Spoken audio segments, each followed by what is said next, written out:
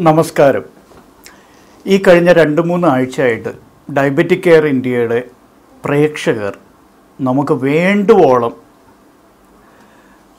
സ്നേഹവും സഹകരണവും അവരുടെ എല്ലാത്തിലുമുപരി അനുഗ്രഹവും തരുന്നതായിട്ട് കണ്ടതിൽ വളരെ വളരെ സന്തോഷം. എല്ലാവർക്കും നമ്മുടെ കൃതജ്ഞത ഇവിടെ രേഖപ്പെടുത്തട്ടെ. ഇതിന്റെയൊക്കെ ഇടയിൽ പലരെയും അലട്ടുന്ന അല്ലെങ്കിൽ ആശങ്കപ്പെടുത്തുന്ന ഒരു വിഷയത്തെക്കുറിച്ചാണ് ഇന്നത്തെ പതിപ്പ് ഞാൻ അവതരിപ്പിക്കാൻ ആഗ്രഹിക്കുന്നത്. അതായത് പ്രമേഹ രോഗികളിൽ ബഹുഭൂരിപക്ഷവും കഴിച്ചുകൊണ്ടിരിക്കുന്ന മെറ്റ്ഫോർമിൻ എന്നുള്ള മരുന്നിൽ കഴിക്കുന്നവരിൽ ക്യാൻസർ അതായത് അർബുദത്തിന്റെ അളവ് കൂടിക്കൊണ്ടിരിക്കുന്നു.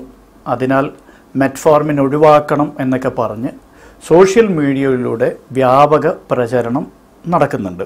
നിങ്ങളിൽ പലരും അത് വായിച്ചിട്ടുണ്ടാവും.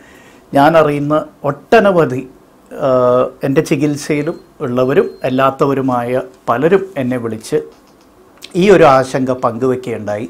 അതിനാൽ മെറ്റ്ഫോർമിൻ കഴിക്കുന്നവരിൽ അർബുദ സാധ്യത കൂടുമോ ഇല്ലയോ എന്നുള്ളതിനെക്കുറിച്ച് നമുക്ക് ഈ ലക്കത്തിൽ ഒന്ന് ചർച്ച ചെയ്യാം. അപ്പോൾ എന്താണ് ഇവിടുത്തെ വിഷയം? അതായത് basically N D M A എന്ന് പറയുന്ന ഒരു വസ്തുവാണ് മെറ്റ്ഫോർമിൽ അടങ്ങിയിട്ടുള്ളത് എന്നും ഈ വസ്തു അർബുദമുണ്ടാക്കുന്ന ഒരു രാസപദാർത്ഥമാണ് എന്നും ഉള്ളതാണ് ഈ വാർത്തകളുടെ ഏറ്റവും പ്രധാനപ്പെട്ട ഒരു ഒരു വിഷയം. അവർ പറയുന്ന ഏറ്റവും പ്രധാനപ്പെട്ട വിഷയം ഈ എൻ ഡി എം എ മെറ്റ്ഫോർമിൽ അടങ്ങിയിട്ടുള്ളതിനാൽ നിങ്ങൾക്ക് ക്യാൻസർ സാധ്യത കൂടും എന്നാണ് ഇവ പറഞ്ഞു വരുന്നത്. അപ്പോൾ എന്താണ് ഈ എൻ ഡി എം എ എന്നുള്ളത് നമുക്ക് ആദ്യം ഒന്ന് പരിശോധിച്ച് നോക്കാം. എൻ ഡി എം എ ഏകദേശം ആയിരത്തി തൊള്ളായിരത്തി അറുപതുകളിൽ തിരിച്ചറിഞ്ഞ ഒരു രാസപദാർത്ഥമാണ്. അതായത് പുകയില ഉൽപ്പന്നങ്ങളിൽ ആണ് ഇത് ഏറ്റവും കൂടുതൽ കണ്ടുവരുന്നത്. പുക വലിക്കുന്നവരിൽ അർബുദമുണ്ടാക്കാൻ സാധ്യതയുള്ള പല വസ്തുക്കളിൽ ഒന്നാണ് എൻ ഡി എം എ അതായത് അതിന്റെ പൂർണ രൂപം വേറൊന്നുമല്ല nitroso di methyl amine nitroso di methyl amine കൃത്യമായിട്ട് പറഞ്ഞാൽ N nitroso di methyl amine അപ്പോൾ ഡൈമീഥൈൽ അമൈൻസ് എന്ന് പറയുന്ന വലിയൊരു ഒരു കുടുംബത്തിലെ ഒരു അംഗമാണിത്. അപ്പോൾ അമൈൻ എന്നുള്ള വാൽ തന്നെ കേട്ടാലറിയാം. അതിനൊരു പ്രത്യേക തരത്തിലുള്ള ഗന്ധമുണ്ട്. അപ്പോൾ പുകയില ഉൽപ്പന്നങ്ങളിൽ പ്രത്യേകിച്ച് പുക വലിക്കുന്നവരിൽ ആ പുകയിൽ ഇത് അടങ്ങിയിട്ടുണ്ട്. ഈ നൈട്രോസോ ഡൈമീഥൈൽ അമൈൻ എന്ന് പറയുന്ന കാർസിനോജനിക് മ്യൂട്ടാജനിക് എന്നും വിശേഷിപ്പിക്കും. മ്യൂട്ടാജനിക് എന്ന് പറഞ്ഞാൽ വേറൊന്നുമല്ല കോശങ്ങളുടെ ജനിതക ഘടനയെ മാറ്റാൻ കഴിവുള്ള ഒരു വസ്തു. അപ്പോൾ it can cause a sudden change in the genetic coding of a cell so basically genetic constitution മാറുന്നു എന്ന് പറയുമ്പോൾ മ്യൂട്ടേഷൻ ഉളവാക്കാൻ സാധ്യതയുള്ള ഒരു വസ്തു. അതായത് അത് കാരണം ക്യാൻസർ സാധ്യത വർദ്ധിപ്പിക്കുന്ന ഒരു വസ്തുവായിട്ടാണ് എൻ ഡി എം എ കാണുന്നത്. അപ്പോൾ എൻ ഡി എം എ എന്നുള്ള വാക്ക് നിങ്ങളിൽ പലരും കേട്ടിട്ടുണ്ടാവും. ഈയിടെ കാലങ്ങളിൽ ഈ അടുത്ത കാലത്ത് ബേസിക്കലി റാനിറ്റിഡിനിൽ എൻ ഡി എം എ ഉണ്ട് എന്നും റാനിറ്റിഡിൻ കഴിച്ചാൽ ക്യാൻസർ വരും എന്നുള്ളത് ഗ്യാസിന് കഴിക്കുന്ന സർവസാധാരണമായിട്ട് കഴിക്കുന്ന മരുന്നാണ് റാനിറ്റിഡിൻ റാൻടാക്ക് എന്നൊക്കെ പറഞ്ഞ ബ്രാൻഡിൽ ലഭ്യമാണ്. കേട്ടിട്ടുണ്ടാവും. അതിൽ എൻ ഡി എം എ ഉണ്ട് എന്നും അത് കാരണം ക്യാൻസർ വരുമെന്നുള്ള വാർത്ത ഉണ്ടായിരുന്നു. പിന്നെ അതിനിടയ്ക്ക് വൽസാർട്ടാൻ എന്ന് പറയുന്ന പ്രഷറിന് കൊടുക്കുന്ന ഒരു മരുന്നുണ്ട്. ലോകത്ത് പല സ്ഥലത്തും പ്രഷറിന് വേണ്ടി ഹൈ ബ്ലഡ് പ്രഷറിന് വേണ്ടി സ്ഥിരമായിട്ട് കൊടുക്കുന്ന വളരെ ഫലപ്രദമായിട്ടുള്ളൊരു മരുന്നാണ് വാൽസാട്ടാൻ. വാൽസാട്ടാനിലും ഈ എൻ ഡി എം എ അടങ്ങിയിട്ടുണ്ട് ഉള്ളതിനാൽ അത് ഒഴിവാക്കണം അത് വിഷമാണ് എന്നൊക്കെയുള്ള പല പല വാർത്തകളും പ്രചരിച്ചു. അതുകൊണ്ടാണ് ഇപ്പോൾ ഒരു ഇതിനെക്കുറിച്ച് നമ്മൾ കൂടുതൽ ആഴത്തിൽ ഒന്ന് പരിശോധിച്ച് നോക്കുന്നത്. അപ്പോൾ തിരിച്ച് എൻ ഡി എം എയിലേക്ക് വരാം. ആയിരത്തി തൊള്ളായിരത്തി അറുപതുകളിൽ പുകയില ഉൽപ്പന്നങ്ങളിലാണ് എൻ ഡി എം എ കണ്ടത്. പിന്നെ അതിനുശേഷം അതിനെക്കുറിച്ച് ഒത്തിരി ഗവേഷണ ഫല ഗവേഷണ ഗവേഷണം നടന്നു.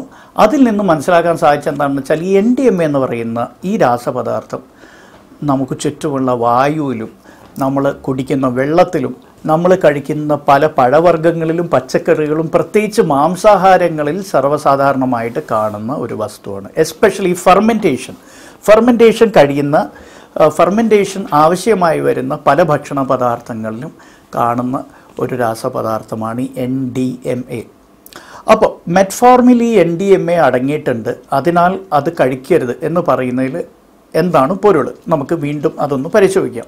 അപ്പോൾ മെറ്റ്ഫോർമിൻ മറ്റുള്ള എല്ലാ മരുന്നുകളെയും പോലെ പല പല റോ മെറ്റീരിയൽസിൽ അസംസ്കൃത വസ്തുക്കളിൽ നിന്ന് ഉൽപ്പാദിപ്പിക്കുന്നതാണല്ലോ. അപ്പോൾ നേരത്തെ പറഞ്ഞ പോലെ നമ്മുടെ നമ്മുടെ ചുറ്റുമുള്ള വെള്ളത്തിലും വായുവിലും നമ്മൾ കഴിക്കുന്ന ഭക്ഷണത്തിലും നമ്മൾ ദൈനംദിന ജീവിതത്തിൽ ഉപയോഗിക്കുന്ന പല വസ്തുക്കളിലും ഉദാഹരണം പ്ലാസ്റ്റിക്സ് നമ്മൾ ഉപയോഗിക്കുന്ന എല്ലാത്തിലും ഈ എൻ ഡി എം എ അടങ്ങിയിട്ടുണ്ട്. അപ്പോൾ എൻ ഡി എം എ എന്തായാലും അസംസ്കൃത വസ്തുക്കൾ മെറ്റ്ഫോർമിൻ ഉൾപ്പെടെ ഏത് മരുന്ന് ഉൽപ്പാദിപ്പിക്കുന്ന അസംസ്കൃത വസ്തുക്കളിലും ഇത് കടന്നുകൂടും എന്നുള്ളതിൽ സംശയമൊന്നുമില്ല. അതുകൊണ്ട് തന്നെ ലോകത്തിൽ ഏറ്റവും കൂടുതൽ ഈ മരുന്നിന്റെ കാര്യത്തിൽ നിഷ്കർഷത പാലിക്കുന്ന എഫ് ഡി എ പോലും എൻ ഡി എം എയുടെ അളവ് കൃത്യമായിട്ട് വിലയിരുത്തിയിട്ടുണ്ട്. എത്ര വരെ ആവാം എന്നുള്ളതിന് ഗൈഡ് ലൈൻസ് ഉണ്ട്. അപ്പോൾ എൻ ഡി എം എ ഒട്ടും പാടില്ല എന്ന് പറയുന്നില്ല അവിടെ. അതൊന്ന് ശ്രദ്ധിക്കുക. വളരെ തീരെ ചെറിയ അളവുകളിൽ എൻ ഡി എം എ നമ്മൾ കഴിക്കുന്ന ഭക്ഷണ പദാർത്ഥങ്ങളിലുണ്ട് എന്നുള്ള ആ ബോധ്യത്തിന്റെ അടിസ്ഥാനത്തിൽ ആ അറിവിന്റെ അടിസ്ഥാനത്തിൽ ഇത്രം വരെ എൻ ഡി എം എ ആവാം എന്ന് അവർ നിഷ്കർഷിച്ചിട്ടുണ്ട്. ഏറ്റവും വളരെ സ്ട്രിക്റ്റായിട്ട് ഏറ്റവും കൂടുതൽ സൂക്ഷ്മതയോടെ ഈ മരുന്നുകളുടെയും ഭക്ഷണ പദാർത്ഥങ്ങളുടെയും വിലയിരുത്തൽ നടത്തുന്ന ഒരു സംഘടനയാണ് food and drugs administrations F D A അപ്പോൾ ഈ U S F D A പോലും എൻ ഡി എം എ ഒട്ടും പാടില്ല എന്നെങ്കും പറയുന്നില്ല. ചെറിയ അളവിൽ വളരെ തീരെ ചെറിയ അളവിൽ എൻ ഡി എം എ ഇതിൽ ആവാം എന്ന് തന്നെ അവർ പറയുമ്പോൾ ഈ എൻ ഡി എം എ ചൊല്ലി നമ്മുടെ നാട്ടിൽ ഇത്രമാത്രം കോലാഹലം എന്തിന് എന്ന് ചോദ്യം അവിടെ ഉയരുന്നു. അപ്പോൾ എൻ ഡി എം എ നമ്മൾ കഴിക്കുന്ന ഭക്ഷണത്തിൽ ഉണ്ട്. അതിനാൽ എല്ലാ മരുന്നുകളിലും വേണം എന്നല്ല ഇവിടെ പറഞ്ഞു വരുന്നത്. ഇവിടെ പറഞ്ഞു വരുന്നത് എന്താണെന്ന് വെച്ചാൽ അസംസ്കൃത വസ്തുക്കളിലൊക്കെ ഈ എൻ ഡി എം എ ഉള്ളതിനാൽ അതിനെ ശുദ്ധീകരിച്ച് ഒരു മരുന്ന് ഉൽപ്പാദിപ്പിക്കുമ്പോൾ അത് എഫ് ഡി എ ഗൈഡ് ലൈൻസിന്റെ ഉള്ളിൽ നിലനിൽക്കുന്നതാണ്. ആ അളവ് ആ അവർ നിഷ്കർഷിച്ചിരിക്കുന്ന ആ വാല്യൂവിനേക്കാളും കുറവാണ് എന്ന് ഉറപ്പുവരുത്താൻ എല്ലാ മരുന്ന് ഉൽപ്പാദകരും ബാധ്യസ്ഥരാണ്. അതിനെ വിലയിരുത്താൻ നമ്മുടെ നാട്ടിൽ സജ്ജീകരണങ്ങളുണ്ട്. നമ്മുടെ നാട്ടിൽ സംവിധാനങ്ങളുമുണ്ട് എല്ലാ നാട്ടിലുള്ളതുപോലെ. ആ സംവിധാനങ്ങൾ പറയുന്ന ഒരു കാര്യം എന്താണെന്ന് വെച്ചാൽ മെറ്റ്ഫോർമിൻ എന്ന് പറയുന്ന മരുന്ന് എൻ ഡി എം എയുടെ സാന്നിധ്യം കാരണം ഒഴിവാക്കേണ്ടതില്ല നിരോധിക്കേണ്ടതില്ല എന്നുള്ളത്. മെറ്റ്ഫോർമിൻ ഇതുവരെ എൻ ഡി എം എയുടെ സാന്നിധ്യത്തിന്റെ പേരിൽ എങ്ങും നിരോധിച്ചിട്ടില്ല. ലോകത്ത് ഒരു രാജ്യത്ത് നിരോധിച്ചിട്ടില്ല. ഇന്ന് വരെ കിട്ടിയ അറിവിന്റെ അടിസ്ഥാനത്തിൽ നിരോധിക്കാൻ സാധ്യതയുമില്ല. കാരണം വളരെ വളരെ ചെറിയ അളവുകളിൽ ചില ബ്രാൻഡിൽ ചില മരുന്ന് ചില കമ്പനികളുടെ ഉൽപ്പന്നങ്ങളിൽ മാത്രമേ ഇത് കാണുന്നുള്ളൂ. അതിനാൽ ഇതിനെക്കുറിച്ചുള്ള ആശങ്ക തികച്ചും അസ്ഥാനത്ത് മാത്രമല്ല അശാസ്ത്രീയവും കൂടിയാണ്. ഇവിടെ ഒരു ബ്രാൻഡിനോ അല്ലെങ്കിൽ ഒരു മരുന്നിനോ അല്ലെങ്കിൽ ഒരു കമ്പനിക്കോ ഒരു പച്ചക്കൊടി കാണിക്കാനുള്ള ശ്രമമല്ല തികച്ചും നിഷ്പക്ഷം ആയ വിലയിരുത്തൽ മാത്രമാണിത്. എന്താണ് എൻ ഡി എം എ എന്ന് നിങ്ങളെ അറിയിക്കാം.